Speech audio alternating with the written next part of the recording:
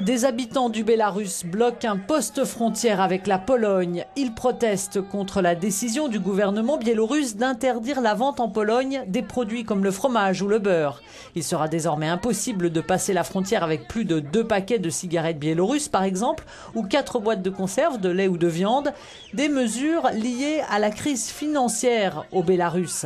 Les frontaliers achètent à des prix artificiellement bas chez eux et revendent plus cher en Pologne. Une source de revenus devenue majeure pour eux et dont ils vont être bientôt privés.